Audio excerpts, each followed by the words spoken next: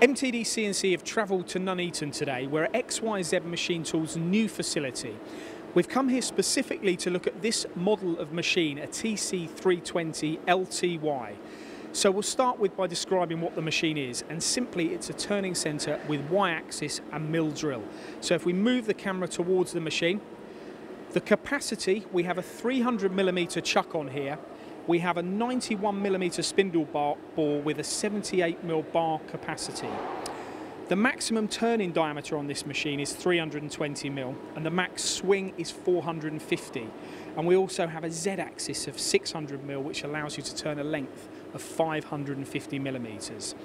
When we're talking about the capacity, important to note here is the y-axis on this machine has 100 millimeters of stroke, which is a lot more than some other manufacturers offer. It gives you more scope when you're looking at your milling using the turret. Talking about the turret, we have a 12 station VDI 40 turret. All stations on this turret have driven tools, which gives you total flexibility when you're turning and milling. Now, if we come back to the spindle, this is a really important point. This machine has 45 horsepower of uh, power, which just goes to show the emphasis that XYZ are putting on producing a machine that can not only produce components but can tackle the most difficult of machining environments. The machine is also got is a box guide way construction, so it's got um, hardened ground slideways, which again, if you've got a powerful spindle motor and you've got a very solid construction, you've got a, a very high performing turning centre. We've got the tool setting arm, which you may have seen in the uh, in the vision of the camera earlier. We've also got here a parts conveyor. When you've got a y-axis, you're going to produce parts. You're going to do a lot more operations in one hit, so you're going to produce components from, hopefully, from start to finish. So this is your parts conveyor, and the component then comes out to the parts catcher here. So once you've finished your part, you can take it out of the catcher. As we move up to the control, this is actually a Siemens control.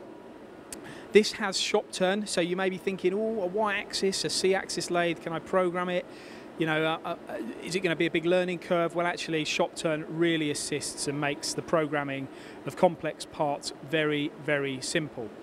So this has been a quick review. It is a very quick overview of a very sophisticated machine tool. It's heavy duty, it's got plenty of power and it's got plenty of capacity as well.